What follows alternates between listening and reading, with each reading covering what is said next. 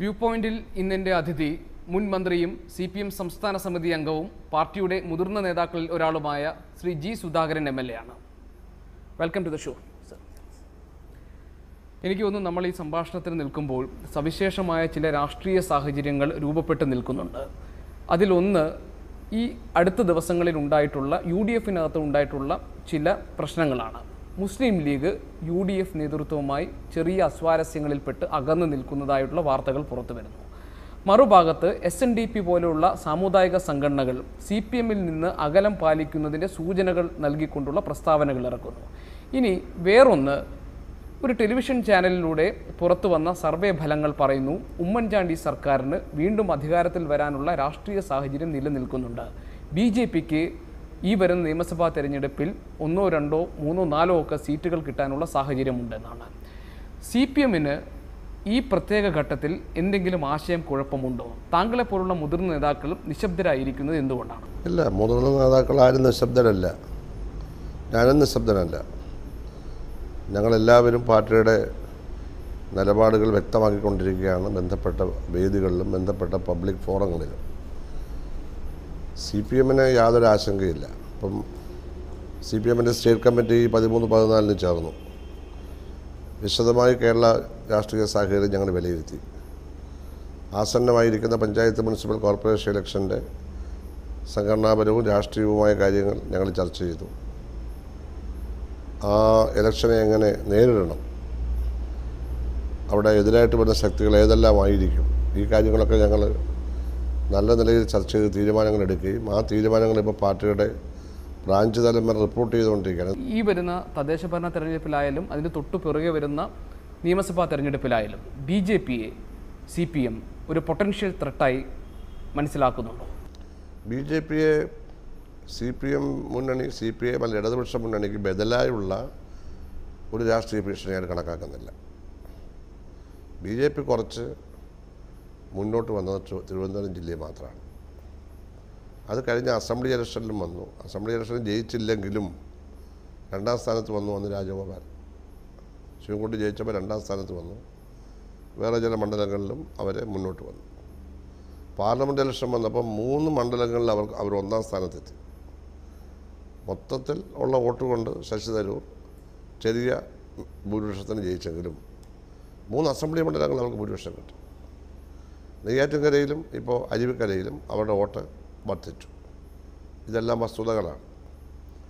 പക്ഷേ തിരുവനന്തപുരത്ത് മാത്രമേ അങ്ങനെ പ്രതിഭാസം കണ്ടുള്ളൂ. മറ്റ് ജില്ലകളിൽ അങ്ങനെ വന്നിട്ടില്ല. താങ്കൾ ഈ പറഞ്ഞ കണക്കുകളൊക്കെ ശരിയാണ്. പക്ഷേ അരുവിക്കര ഉപതെരഞ്ഞെടുപ്പ് ഇപ്പോൾ കേരളത്തിലാകെ പ്രതിഫലിക്കുമെന്നൊന്നും നമ്മൾ കണക്കാക്കുന്നില്ല. എങ്കിൽ പോലും ആ തെരഞ്ഞെടുപ്പ് ഫലത്തെ സൂക്ഷ്മമായി വിശകലനം ചെയ്യുമ്പോൾ അതിൽ ഒരു സർക്കാർ വിരുദ്ധ വികാരം വ്യക്തമായുമുണ്ട്. പക്ഷേ ആ സർക്കാർ വിരുദ്ധതയെ വോട്ടുകളാക്കി മാറ്റാൻ സി പി എമ്മിന് കഴിഞ്ഞില്ല. അതിന് ഏറ്റവും വലിയ തടസ്സം നിന്നത് ബി ജെ പി ആയിരുന്നു. അപ്പോൾ ബി ജെ പിയിലേക്ക് ഒരു ഓപ്ഷൻ എന്ന നിലയിൽ ആളുകൾ പോയി എന്നതിനേക്കാൾ കൂടുതൽ സി പി എമ്മിനെ വിട്ട് അവർ ബി ജെ പിയെ സ്വീകരിക്കുന്ന ഒരു സാഹചര്യം അരുവിക്കരയിലുണ്ടായി. അത് സി പി എമ്മിന് ഒരു പുനർവിചിന്തനത്തിന് എടുക്കുന്ന രാഷ്ട്രീയ നിലപാടുകൾ സംബന്ധിച്ച് ഏത് തരത്തിൽ ഈ തെരഞ്ഞെടുപ്പിൽ ഏതൊക്കെ വിഷയങ്ങൾ ഉയർത്തിക്കൊണ്ടുവരണം എന്ന കാര്യങ്ങളിൽ ഒരു പുനർവിചിന്തനത്തിന് പ്രേരിപ്പിക്കുന്നതല്ലേ? അല്ലെങ്കിൽ പ്രേരണയായി മാറേണ്ടതല്ലേ? അല്ല ആ റിസൾട്ട് ഒരു പരിശോധനയ്ക്കും ഒരു തിരുത്തലിനും ഉള്ള ഒരു സൂചന തന്നെ. അതിനെ തന്നെ കണ്ടിട്ടുണ്ട്. പക്ഷേ ബി ജെ പി എന്ന പാർട്ടി ഒരു വർഗീയ ഫാസിസ്റ്റ് പാർട്ടിയാണ്. ഇത് രാഷ്ട്രീയമായി കണ്ട് അതിന്റെ സ്ഥാനാർത്ഥി ആരായാലും ആ വർഗീയ ഫാസിസ്റ്റ് രാഷ്ട്രീയത്താണ് പ്രതിനിധീകരിക്കുന്നത് എന്ന നിലയിൽ ജനങ്ങൾ കാണുന്നില്ല എന്നുള്ളതാണ് പ്രശ്നം. അത് രാഷ്ട്രീയമായിട്ടുള്ള നിലപാടിന്റെ ന്യൂനതയാണ്. അതിലേക്ക് ജനങ്ങളെ കൊണ്ടുവന്നെങ്കിൽ മാത്രമേ നമുക്കിതിനെ പരിഹരിക്കാൻ പറ്റൂ. കേരളമാകെ അങ്ങോട്ട് പ്രവണതയൊന്നുമില്ല. പക്ഷേ ഇതിൽ സൂചനകളുണ്ട്. ആ സൂചനകൾ പഠിക്കേണ്ടതായിട്ട് തന്നെയാണ് ഞങ്ങൾ പഠിക്കുന്നുണ്ട്. ഞങ്ങളിത് വിലയിരുത്തിയിട്ടുണ്ട്. ഞങ്ങളിത് ഞങ്ങളുടെ പ്രവർത്തനങ്ങളിൽ ആ അപാകതകൾ പരിഹരിക്കാനുള്ള തീരുമാനം എടുത്തിരിക്കുകയാണ്. സി പി എം നേതാക്കളും ഇടതുപക്ഷ ജനാധിപത്യ മുന്നണിയിലെ നേതാക്കളും നിരന്തരം പറയാറുണ്ട് മുന്നണി വിപുലീകരണത്തെക്കുറിച്ച്. യു ഡി എഫിനകത്ത് ഇപ്പോൾ ലീഗ് അസ്വസ്ഥമായി തുടങ്ങിയിരിക്കുന്നു. ബ്ലാക്ക് മെയിൽ ചെയ്ത് അംഗങ്ങളെ ഒപ്പം നിർത്തുന്ന ഒരു തന്ത്രം ഉമ്മൻചാണ്ടി പയറ്റുന്നുണ്ട് എന്ന വിമർശം വരെ എത്തിയിട്ടുണ്ട് ലീഗിന്റെ ഭാഗത്ത് പരോക്ഷമായിട്ടാണെങ്കിൽ പോലും. ലീഗിന് യു ഡി എഫിൽ ഉണ്ടായിട്ടുള്ള ഈ അസ്വാരസ്യത്തെ രാഷ്ട്രീയമായി മുതലെടുക്കാൻ കഴിയുന്ന ഒരു അവസരമായി ഇടതുപക്ഷം കാണേണ്ടതുണ്ടോ? യഥാർത്ഥത്തിൽ ലീഗ് ഒരിക്കലും യു ഡി എഫിൽ പോകാൻ പാടില്ലാത്തതാണ് ചരിത്രപരമായി നോക്കിയാൽ പക്ഷെ അവർ പോകുന്നു എന്നുള്ളത് ലീഗിന്റെ കേരളത്തിലെ രാഷ്ട്രീയമായിട്ടുള്ള ഒരു അവസരവാദത്തിന്റെ ഭാഗമായിട്ട് വരുന്നതാണ്. അത്രേ ഞാൻ പറയുന്നുള്ളൂ ഈ ഗവൺമെന്റ് ലീഗ് ഇല്ലെങ്കിൽ ഇല്ല. അത് ഉമ്മൻചാണ്ടിക്കറിയാം. ഉമ്മൻചാണ്ടി ഒരേ സമയം ഘടകകക്ഷികളെ ഭയങ്കരമാണ് ഇൻസൾട്ട് ചെയ്യുമ്പോഴും പുറമേ അദ്ദേഹം അവരെല്ലാം സംരക്ഷിക്കുന്നതായിട്ടും അവരുടെ എല്ലാ പ്രയാസങ്ങളും പരിഹരിക്കുന്നതിന് മിശകയായിട്ട് പ്രവർത്തിക്കുന്നതായിട്ടും യു ഡി എഫ് എന്ന് പറയുന്ന ഒരു അലങ്കോല മുന്നണിയെ ഇങ്ങനെ കൊണ്ടു നടക്കുന്ന അദ്ദേഹമാണെന്ന അഭിപ്രായം യു ഡി എഫിനകത്ത് മൊത്തത്തിൽ ഉണ്ടാക്കുന്ന അദ്ദേഹം വിജയിച്ചിട്ടുണ്ട്. അതാണ് ഉമ്മൻചാണ്ടിയുടെ ടാക്ടിക്കലായിട്ടുള്ള വിജയം രണ്ട് കാര്യങ്ങൾ താങ്കൾ ഈ പറഞ്ഞ കാര്യങ്ങളിൽ. ഒന്ന് താങ്കൾ ഇപ്പോൾ പറയുന്നത് ലീഗ് ഏതെങ്കിലും തരത്തിലുള്ള ഒരു അസ്വസ്ഥത പ്രകടിപ്പിക്കുന്നുണ്ടെങ്കിൽ അത് ഒരു വിലപേശലിന്റെ ടാക്ടിക്സായി മാത്രം കണ്ടാൽ മതി എന്നാണ്? അങ്ങനെയാണ് ഇതുവരെയുള്ള അനുഭവം. ഇപ്പോൾ വ്യത്യാസവും നമ്മൾ കണ്ടിട്ടില്ല. ഇതുവരെയുള്ള അനുഭവമാണ് വ്യത്യാസമൊന്നും കണ്ടിട്ടില്ല. എനിക്ക് പിന്നെ ഒരു വിശദീകരണം ഒരു ഒരു ഒരു വ്യക്തത വേണ്ടത് നേരത്തെ ശ്രീ ജി സുധാകരൻ താങ്കൾ പറഞ്ഞു യു ഡി എഫിന്റെ കൂടെ നിൽക്കേണ്ടവരല്ല മുസ്ലിം ലീഗ് എന്ന് ചരിത്രം പരിശോധിച്ചാൽ മനസ്സിലാകും. ഈ ഇടതു മുന്നണിയുടെ പുതിയ ഘടകകക്ഷികളെ ചേർക്കുന്നതുമായി ബന്ധപ്പെട്ടിട്ടുള്ള തീരുമാനങ്ങളൊന്നും ഉണ്ടായിട്ടില്ല എന്നും പറഞ്ഞു. ഇടതു മുന്നണിക്കൊപ്പം ലീഗിനെ കൊണ്ടുവരാനുള്ള ഏതെങ്കിലും ഒരു രാഷ്ട്രീയ സാഹചര്യം ഉണ്ടായാൽ അങ്ങനെ മാറ്റി നിർത്തപ്പെടേണ്ട ഒരു ഘടക ഒരു ഒരു കക്ഷിയല്ല ലീഗ് എന്ന അഭിപ്രായം താങ്കൾക്കുണ്ട്? അല്ല വ്യക്തിപരമായിട്ട് എനിക്ക് അതിനകത്തൊന്നും പ്രത്യേകിച്ച് അഭിപ്രായങ്ങളില്ല. പാർട്ടിയുടെ പാർട്ടി കോൺഗ്രസ് എടുത്തിരിക്കുന്ന ടാക്ടിക്കൽ ലൈനുണ്ട് ആ ടാക്ടിക്കൽ ലൈനിൽ പൊളിറ്റിക്കൽ ടാക്ടിക്കൽ ലൈനിൽ ഇപ്പോൾ ലീഗ് ഉൾപ്പെടുന്നില്ല. കുറേ കാലമായിട്ടില്ല. ഒരു കാലത്തുണ്ടായിരുന്നു ഒരു കാലത്തുണ്ടായിരുന്നു എം എസ് ഗവൺമെന്റ് ഉണ്ടായിരുന്നല്ലോ. ഇപ്പോൾ അവരില്ല. അതിന് ചില ന്യായമായിട്ടുള്ള രാഷ്ട്രീയമായ കാരണങ്ങളുണ്ട്. ഇന്ത്യയിലെ വർഗീയതയൊക്കെ നമ്മൾ വിലയിരുത്തുമ്പോൾ B J P R S S തന്നെയാണ് ഏറ്റവും വലിയ വർഗീയ ഭീഷണിയാണ് യാതൊരു സംശയവും ഒരു കാലത്തുമില്ല. അത് തന്നെ അതിന് തുല്യമൊന്നുമല്ല മുസ്ലിം ലീഗോ മുസ്ലിം വർഗീയത ഉയർത്തുന്നത്. അതിന് തുല്യമായിട്ടുള്ളതല്ല പക്ഷേ മുസ്ലിം വർഗീയത വളർന്നാൽ അത് ഹിന്ദു വർഗീയതയെ വളർത്തും. ഹിന്ദു വർഗീയത വളർന്നാൽ അത് മുസ്ലിം വർഗീയതയെ വളർത്തും. വർഗീയതയെ എവിടെ പ്രോത്സാഹിപ്പിച്ചാലും മറുവർഗീയത കൊണ്ട് അതിനെ നേരിടുന്ന ഒരു പ്രവണതയുണ്ട്. ഇത് രണ്ടിലും പെടാത്ത ഒരു പ്രസ്ഥാനം സി പി എമ്മിനെ പോലുള്ള ഇടതുപക്ഷ പാർട്ടികളാണ്.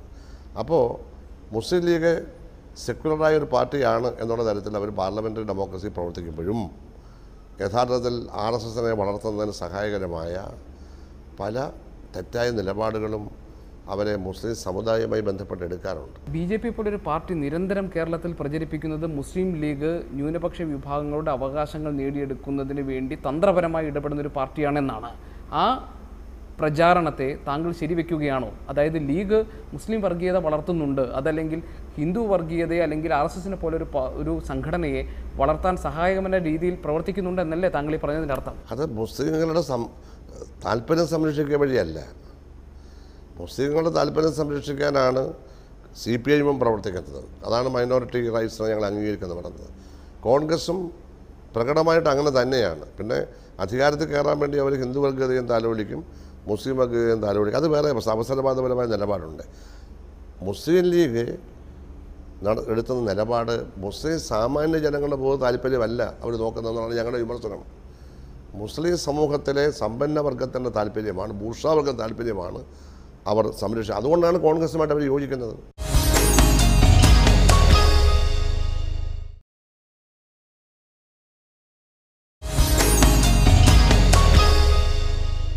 ജി സുധാകരൻ അരുവിക്കര ഉപതെരഞ്ഞെടുപ്പിന് മുൻപ് മുഖ്യമന്ത്രി ഉമ്മൻചാണ്ടി പറഞ്ഞു ഈ തെരഞ്ഞെടുപ്പ് എന്റെ സർക്കാരിന്റെ പ്രവർത്തനങ്ങളുടെ വിലയിരുത്തലായിരിക്കും. ആ തെരഞ്ഞെടുപ്പിൽ ഉപതെരഞ്ഞെടുപ്പിൽ വിജയിച്ച ശേഷം വലിയ ആത്മവിശ്വാസത്തിലാണ് ഈ തദ്ദേശഭരണ തെരഞ്ഞെടുപ്പും നിയമസഭാ തെരഞ്ഞെടുപ്പിനെയും നേരിടാൻ അവർ ഒരുങ്ങുന്നത്. സി പി എമ്മിനെ സംബന്ധിച്ച് ഈ ഇതുവരെയുള്ള തയ്യാറെടുപ്പുകളും ഇപ്പോഴുള്ള രാഷ്ട്രീയ നയ നിലപാടുകളും പ്രവർത്തനങ്ങളും മതിയോ?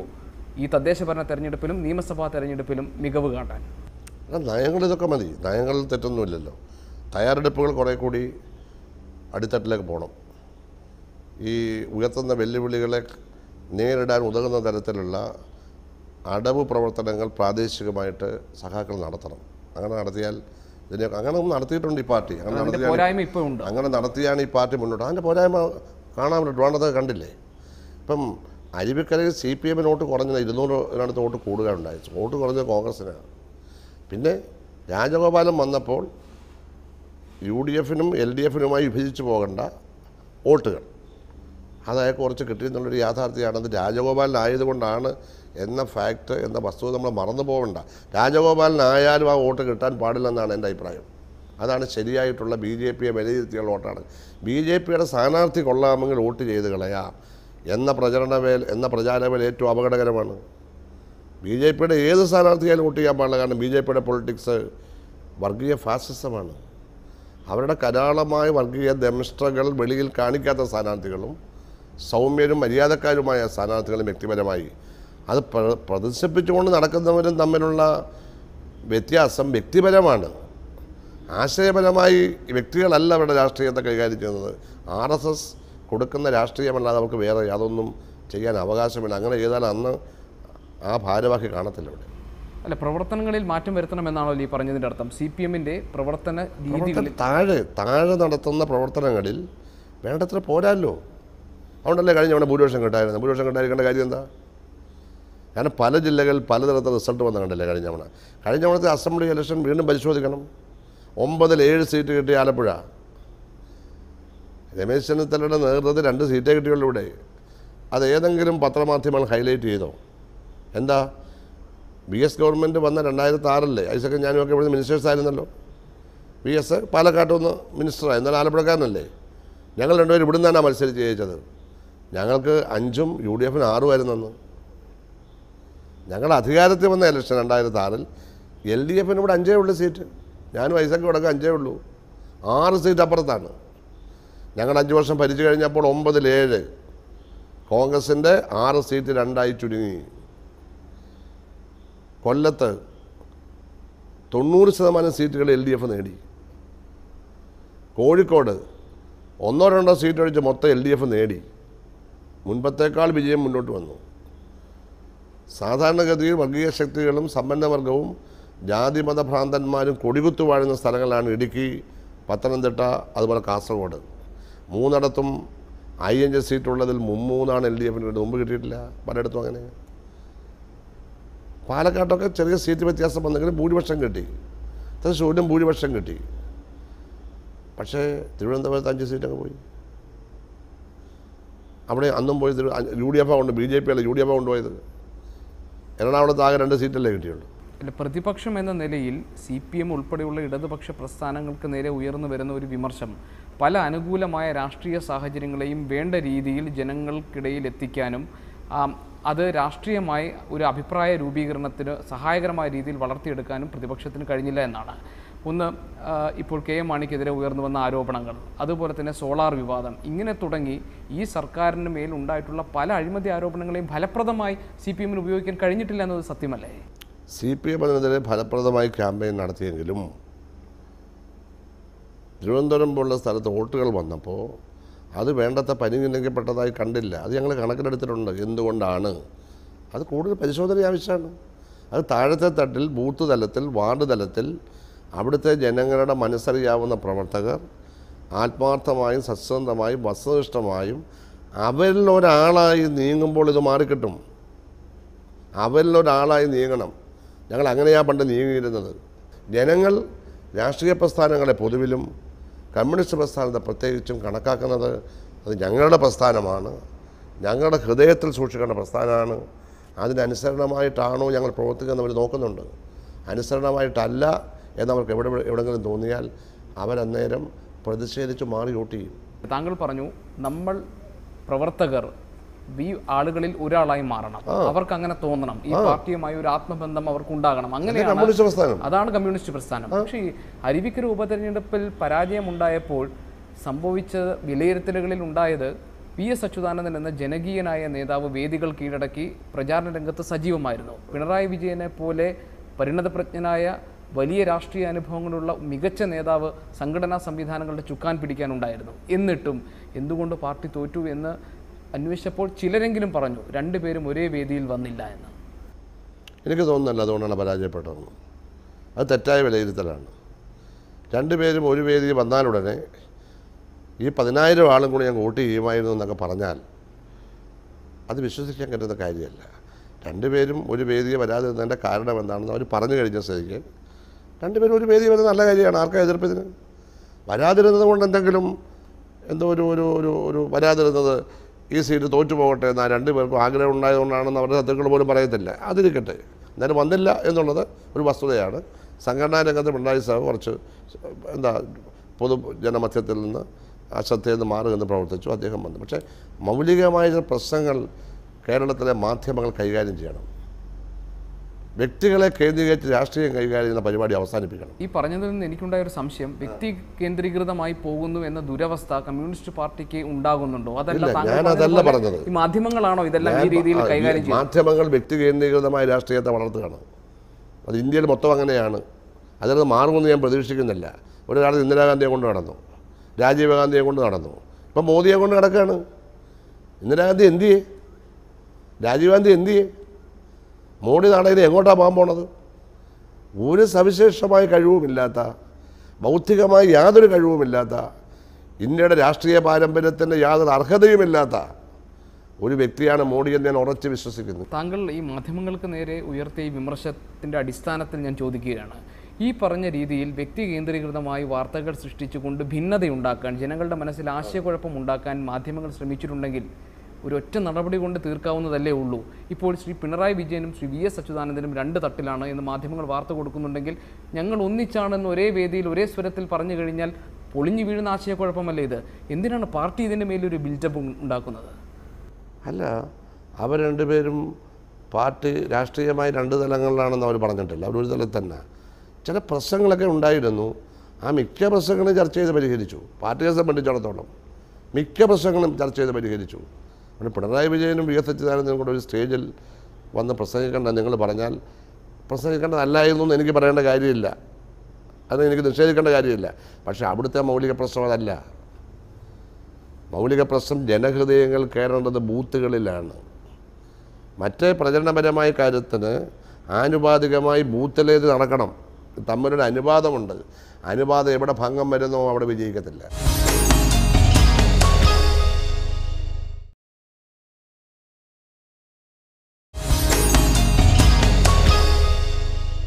താങ്കൾ പറഞ്ഞതുപോലെ ജനഹൃദയങ്ങളിലേക്ക് പാർട്ടി എത്തിപ്പെടേണ്ടതാണ്. കമ്മ്യൂണിസ്റ്റ് പാർട്ടി ഉണ്ടായിരുന്നതും വളർന്നതുമെല്ലാം ജനഹൃദയങ്ങളിലാണ്. ഇപ്പോൾ പാർട്ടി അകന്നു പോയിട്ടുണ്ടെങ്കിൽ ആരാണ് അതിന് ഉത്തരവാദികൾ? എന്താണ് അതിന്റെ കാരണം? പാർട്ടി എവിടെയെങ്കിലും അകന്നെങ്കിൽ അവിടുത്തെ പ്രവർത്തകരാണ് ഉത്തരവാദികൾ. നേതൃത്വമല്ല. നേതൃത്വം അവിടെ ഉണ്ടല്ലോ നേതൃത്വം. ആ നേതൃത്വം എന്ന് പറഞ്ഞാൽ സ്റ്റേറ്റ് സെക്രട്ടറിയാണ് അതിന് ഉത്തരവാദി.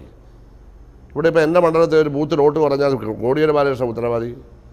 അവിടുത്തെ ബ്രാഞ്ചും ലോക്കൽ കമ്മിറ്റിയും ഏരിയ കമ്മിറ്റി എനിക്കുണ്ട് ഉത്തരവാദിത്തം ഞാൻ അവിടുത്തെ അവിടെ നിന്ന് പ്രവർത്തിക്കുന്ന സ്റ്റേറ്റ് കമ്മിറ്റി മെമ്പറാണ് എനിക്കും ഉത്തരവാദിത്തം വരും. ആ ഉത്തരവാദിത്തം എന്റെ ലെവലിൽ വരെ ഏറ്റെടുക്കേണ്ടത്. മുകളിലോട്ട് ഏറ്റെടുക്കാൻ ഒക്കെയുള്ള കാരണം അതൊരു ബൂത്തിലെ പ്രശ്നമാണ്. അല്ലെങ്കിൽ ഒരു പഞ്ചായത്തിലെ പ്രശ്നമാണ്. അങ്ങനെയാണ് പാർട്ടി പ്രശ്നം കൈകാര്യം ചെയ്യുന്നത്. അങ്ങനെ വരട്ടെ ഇത് ഞങ്ങൾക്ക് നേരിടാൻ പറ്റും. ഞങ്ങൾക്ക് എന്താ പ്രശ്നം? ജാതി മതങ്ങൾക്ക് വിധേയമാകാത്തൊരു പാർട്ടിയെ കേരളത്തെ ജനങ്ങൾക്ക് വേണ്ട എന്ന് പറഞ്ഞാൽ അത് കേരളം മാറിപ്പോയെന്ന് അങ്ങനെ അർത്ഥം. അങ്ങനെ പറയൂ. അങ്ങനെ പറയാൻ പറ്റുമോ ഞങ്ങൾക്ക് ജാതിയ മതമൊന്നുമില്ല. എന്നാൽ എല്ലാ ജാതിയ മതങ്ങളും ഉണ്ടെന്ന് ഞങ്ങൾ മനസ്സിലാക്കുകയും അവരവർക്ക് കൊടുക്കേണ്ട അംഗീകാരം ഞങ്ങൾ കൊടുക്കുകയും ചെയ്യും.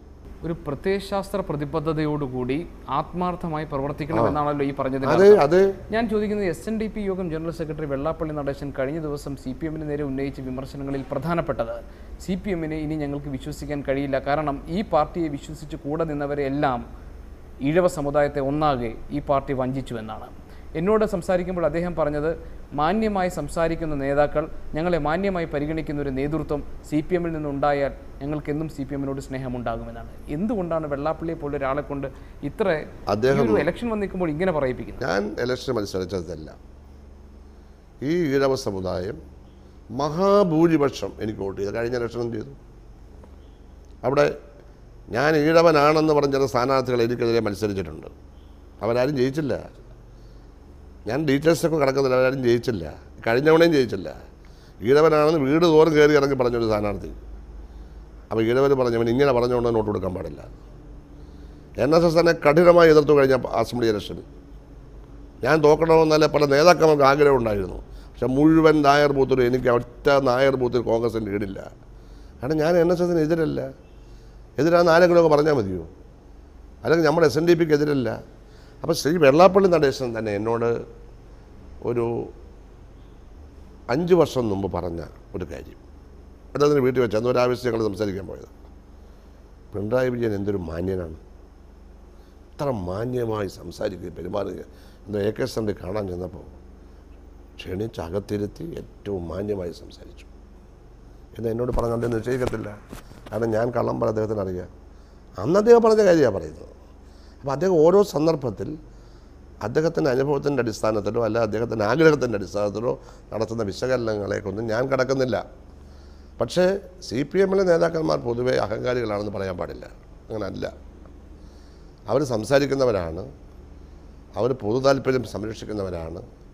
അത് മനസ്സിലാക്കാതെ ഏതെങ്കിലും ഒരു വ്യക്തി ഒരു ഒരു ഒരു പ്രത്യേക അനുഭവത്തിന്റെ അടിസ്ഥാനത്തിൽ ആ അനുഭവം എന്തുകൊണ്ടാണ് ഉണ്ടായെന്ന് അതിന്റെ വസ്തുത കൂടി നോക്കണം. നമ്മളങ്ങനെ ഒരു മഹത്തായ ഒരു പ്രസ്ഥാനത്തെ പറ്റി വിലയിരുത്തിയാൽ നാളെ മാറി പറയേണ്ടി അദ്ദേഹത്തിന് മാറി പറയേണ്ടി വരും. അദ്ദേഹങ്ങളെ മാറി പറഞ്ഞിട്ടുണ്ട്. ഇതും അദ്ദേഹത്തിന് മാറി പറയേണ്ടി വരും. താങ്കൾ പറഞ്ഞ രണ്ട് കാര്യങ്ങളിൽ ഇപ്പോഴും മുടക്കി നിൽക്കുകയാണ് എന്റെ മനസ്സ്. ഒന്ന് താങ്കൾ പറഞ്ഞു പ്രവർത്തകരുടെ ഇടയിൽ അവർ ജനങ്ങളുടെ ഇടയിൽ പ്രവർത്തകർ ഇറങ്ങിച്ചെന്ന് പ്രവർത്തിക്കുമ്പോഴാണ് പാർട്ടിക്ക് വളർച്ച ഉണ്ടാകുന്നത് അതിനെ മേൽനോട്ടം വഹിക്കാൻ ഉത്തരവാദിത്തപ്പെട്ടവർ ആ കൃത്യങ്ങൾ ചെയ്യണം. രണ്ട് താങ്കൾ പറഞ്ഞു നേതൃത്വം താങ്കളുടെ സ്വന്തം അനുഭവത്തിൽ നിന്ന് പറഞ്ഞു പാർട്ടിയെ തള്ളിപ്പറയുകയോ പാർട്ടിയെ തിരുത്തി പറയുകയോ പരസ്യമായ പ്രസ്താവനകളിലൂടെ ഏതെങ്കിലും തരത്തിൽ പാർട്ടിക്ക് ദോഷം ചെയ്യുകയോ ചെയ്തിട്ടില്ല അല്ല അങ്ങനെ ചെയ്യുന്നവർ ഒന്ന് കരുതേണ്ടതുണ്ടെന്ന് പറഞ്ഞു. അത്? ടി പി ചന്ദ്രശേഖരൻ വധക്കേസിന് ശേഷം ഉണ്ടായിട്ടുള്ള വി എസിന്റെ പ്രസ്താവന തൊട്ട് ഇങ്ങോട്ട്. ഏറ്റവും ഒടുവിൽ ഇപ്പോൾ Chandrasekharan I N T U C നേതാവ് ചന്ദ്രശേഖരന്റെ സമരപ്പന്തലിൽ പിണറായി ഉൾപ്പെടെയുള്ള നേതാക്കളെത്തി അദ്ദേഹത്തെ പിന്തുണയ്ക്കുകയും പി കെ ഗുരുദാസിനെ പോലുള്ള നേതാക്കൾ ഞങ്ങൾ ആ ഭാഗത്തേക്കില്ല എന്ന് പറയുകയും ചെയ്യുമ്പോൾ നേതൃത്വത്തിനിടയിൽ ഉണ്ടായിട്ടുള്ള ആശയക്കുഴപ്പങ്ങൾ ക്രമേണ ക്രമേണ പ്രവർത്തകരിലേക്കും പൊതുജനങ്ങളിലേക്കും എത്തുന്നു എന്നൊരർത്ഥം കൂടിയില്ലേ? കമ്മ്യൂണിസ്റ്റ് പാർട്ടി എന്ന് എല്ലാവരും കൂടി ഉള്ളതാണ്. അതിന്റെ തത്വങ്ങൾ എന്ന് പറഞ്ഞാൽ വളരെയേറെ സെൻട്രലൈസ്ഡ് ആണ്. ഡെമോക്രാറ്റിക്കുമാണ് കേന്ദ്രീകൃത ജനാധിപത്യവും ഉൾപ്പാട്ട് ജനാധിപത്യവും കൂടി ചേരുന്നതാണ്. പാർട്ടിക്ക് വെളിയിൽ ഒരഭിപ്രായ വ്യത്യാസവും പാർട്ടിയെപ്പറ്റി പറഞ്ഞുകൂടാ. അങ്ങനെ പറഞ്ഞാൽ പാർട്ടി വളരത്തില്ല. പാർട്ടി ശക്തി പ്രാപിക്കത്തില്ല. പാർട്ടിയെപ്പറ്റി സംശയം ഉണ്ടാവും. ഈ കാര്യം എല്ലാവരും ഓർത്താൽ മതി. ഞങ്ങളാരും അങ്ങനെ പറഞ്ഞിട്ടില്ല. ഞാൻ പറഞ്ഞിട്ടില്ല എന്ന് എനിക്ക് പറയാൻ കഴിയും. അതേപോലെ നാൽപ്പത്തെട്ട് വർഷമായി ഞാൻ ഞാനും ഈ പാർട്ടിയിലുണ്ട്. ഒരധികാര സ്ഥാനത്തിന്റെയും പുറകെ പോയിട്ടില്ല. പാർട്ടി ഏൽപ്പിച്ച കാര്യങ്ങളൊക്കെ ചെയ്തു. ചില കാര്യങ്ങളൊക്കെ ഏൽപ്പിക്കാൻ ശ്രമിച്ചപ്പോൾ എനിക്കിപ്പോൾ ഇത് പ്രയാസമാണെന്ന് പറഞ്ഞ് ഒഴിയുകയും ചെയ്തു. ബി ജെ പി എല്ലാ കാലത്തും പ്രചരിപ്പിക്കുന്നത് അല്ലെങ്കിൽ അവരുടെ ഒരു രാഷ്ട്രീയ പ്രചാരണത്തിന്റെ സ്വഭാവം ഇവിടെ ന്യൂനപക്ഷ വിഭാഗങ്ങൾ കൂടുതൽ കൂടുതൽ സ്വാധീനം ചെലുത്തുന്നു ഭൂരിപക്ഷ അവകാശങ്ങൾ നിഷേധിക്കപ്പെടുന്നു എന്നുള്ളതാണ്. ഇപ്പോൾ വെള്ളാപ്പള്ളിയെ പോലെയുള്ള ഈഴവ സമുദായത്തെ നയിക്കുന്ന നേതാക്കളും ആ വിശ്വാസത്തിന്റെ ആ പ്രചാരണത്തിന്റെ ഭാഗമായി നിൽക്കുന്നു. പക്ഷേ അത്ഭുതപ്പെടുത്തിയ ഒരു കാര്യം സി പി ഐയുടെ നേതൃത്വം കാനം രാജേന്ദ്രൻ ഇവിടെ ഭൂരിപക്ഷ സമുദായങ്ങൾ ന്യൂനപക്ഷമായി കൊണ്ടിരിക്കുന്ന ഒരു സാഹചര്യമുണ്ടെന്നും അതിനെ കണ്ടില്ലെന്ന് നടിച്ചുകൊണ്ട് ആ യാഥാർത്ഥ്യത്തെ മനസ്സിലാക്കാതെ കമ്മ്യൂണിസ്റ്റ് പ്രസ്ഥാനങ്ങൾക്ക് മുന്നോട്ട് പോകാൻ കഴിയില്ല എന്നും പറഞ്ഞു. തിരുത്തേണ്ടത് സി പി എം ആണ് എന്ന ധ്വനിയായിരുന്നു ആ പരാമർശത്തിലുണ്ടായിരുന്നത്. ഇല്ല അതേപ്പറ്റി കുറച്ച് ആ പ്രസ്താവന വിവാദങ്ങളൊക്കെ ഞാൻ ഓർക്കുന്നുണ്ട്. അദ്ദേഹം അത് പിന്നീട് ക്ലാരിഫൈ ചെയ്തിട്ടുണ്ട്. വ്യക്തമായും അവരുടെ പാർട്ടി പരിപാടിയുടെ അടിസ്ഥാനത്തിൽ അത് വ്യക്തമാക്കപ്പെട്ടിട്ടുണ്ട്. ന്യൂനപക്ഷങ്ങളുടെ സംരക്ഷണത്തെപ്പറ്റി അത് കൃത്യമായി പിന്നീട് പറഞ്ഞു. ഇപ്പം ആനന്ദ് രാജേന്ദ്രൻ അങ്ങനെ ഒരു കാര്യം പറഞ്ഞു. അതുകൊണ്ട് ബി ജെ പി കയറി പോകണം. എന്നേരത്തേക്ക് നമ്മൾ പോകേണ്ട കാര്യമില്ല. ഇവിടെ പ്രശ്നം ന്യൂനപക്ഷങ്ങളെ സംരക്ഷിച്ചേ പറ്റൂ. അത് ഭരണകൂടത്തിന്റെ ചുമതലയാണ്. ന്യൂനപക്ഷങ്ങളുള്ള ഏത് രാജ്യത്തും ന്യൂനപക്ഷത്തെ സംരക്ഷിക്കാതെ ഭൂരിപക്ഷത്തെ മാത്രം സംരക്ഷിച്ചു പോകാൻ സാധ്യമല്ല. അത് ന്യൂനപക്ഷ പ്രീണനമല്ല ഈ ഇലക്ഷനുകൾ അടുത്തു വരുന്ന സാഹചര്യത്തിൽ ചോദിക്കുകയാണ് ഇടതു മുന്നണി പൂർണമാണോ? എൻ കെ പ്രേമചന്ദ്രനും വീരേന്ദ്രകുമാറും എല്ലാം ഇവിടേക്ക് വരേണ്ടവരല്ലേ? അല്ല എൻ കെ പ്രേമേന്ദ്രന്റെ ഒന്നുമല്ല ഞാൻ പറയുന്നത്. വ്യക്തികളുടെ അല്ല പൂർണമല്ല. യോജിക്കേണ്ടവല്ല യോജിച്ചിട്ടില്ല. അതുകൊണ്ട് യോജിക്കേണ്ടവല്ല യോജിക്കണമെന്ന് തീരുമാനം ഞങ്ങൾ എടുത്തിട്ടുണ്ട്. ആരൊക്കെയാണെന്നുള്ള ചർച്ചയിൽ കൂടി മാത്രം തീരുമാനിക്കാനാവും. ഇനിയും വരാം. യോജിക്കുന്നവർക്ക് വരെ ഇന്ത്യയിൽ തന്നെ ലെഫ്റ്റ് ഗ്രൂപ്പ്സിനെല്ലാം ഇപ്പോൾ യോജിപ്പിക്കുകയല്ലേ? നക്സലൈറ്റ് ഔട്ട്ഫിറ്റുകളായിരുന്നവരെ പോലും ഇപ്പോൾ യോജിപ്പിക്കാൻ തുടങ്ങിയല്ലോ യോജിക്കുന്നവരെ. കണ്ടല്ലോ? ഞങ്ങൾ ആ സമീപനം എടുക്കുകയാണ്. പൂർണമല്ല. തദ്ദേശ ഭരണ തെരഞ്ഞെടുപ്പ് സംബന്ധിച്ചിട്ടുള്ള ആശയക്കുഴപ്പങ്ങളിൽ എന്താണ് താങ്കളുടെ നിലപാട്? ഞങ്ങൾക്ക് അതല്ല വാർഡ് വിഭജനവുമായി പഞ്ചായത്ത് വിഭജനം വാർഡ് വിഭജനം ഇപ്പോൾ വാർഡ് ഇപ്പോൾ പുതുതായിട്ടുള്ള വിഭജനം ശരിയല്ല. ഞങ്ങളത് പറഞ്ഞു കഴിഞ്ഞു. ഇപ്പോൾ ഹൈക്കോടതിയിൽ supreme കോടതിയിലും election commission local body selection commission കൊടുത്ത പിന്നെ അഫിഡവിറ്റ് അല്ലേ രണ്ടായിരത്തി പത്തിലെ വെച്ച് അത് തന്നെയാണ് ശരി. ഗവൺമെന്റ് എന്തിനാ കുസ്തി പിടിക്കാൻ പോണേ? എന്താണ് ഈ വരുന്ന തദ്ദേശ ഭരണ തെരഞ്ഞെടുപ്പിലും നിയമസഭാ തെരഞ്ഞെടുപ്പിലും ഇടതുപക്ഷ പ്രസ്ഥാനങ്ങളുടെ ഭാവി? യു ഡി എഫിന്റെ കൂടുതൽ സീറ്റുകൾ ഞങ്ങൾ ജയിക്കാനാണ് സാധ്യത. കാരണം ആ സാഹചര്യമുണ്ട്. ആ സാഹചര്യമാണ് വരുന്നത്. അപ്പോൾ ആലപ്പുഴ ജില്ലയെ സംബന്ധിച്ചിടത്തോളം ഇപ്പോൾ ഞങ്ങൾ മുൻകൈയുണ്ട്. ബ്ലോക്ക് ഒഴിച്ച് എല്ലായിടത്തും മുൻകൈയുണ്ട്. ബ്ലോക്ക് അടക്കം എല്ലായിടത്തും ആ മുൻകൈ വരും. ബ്ലോക്കിൽ കൂടെ മുൻകൈ അതാണ് എന്റെ എന്റെ ഒരു പ്രതീക്ഷ അതാണ്. പക്ഷേ കോൺഗ്രസ് അങ്ങ് അങ്ങനത്തെ തരിപ്പണമാക്കി പോകുന്നൊന്നും പറയാൻ പറ്റില്ല. അവരുടെ സാന്നിധ്യവും ഉണ്ടാവും. പക്ഷേ ബി ജെ പി പഞ്ചായത്തുകളും മുനിസിപ്പാലിറ്റികളും ബ്ലോക്കുകളും ഭരിക്കാൻ സാധ്യതയില്ല. താങ്കൾ ആഗ്രഹിക്കുന്നത് പോലെ താങ്കളുടെ പ്രസ്ഥാനത്തിന് ജനങ്ങളുടെ മനസ്സറിഞ്ഞ് പ്രവർത്തിക്കാൻ കഴിയട്ടെ മുന്നോട്ട് പോകാൻ കഴിയട്ടെ. വളരെയധികം നന്ദി. Thank very much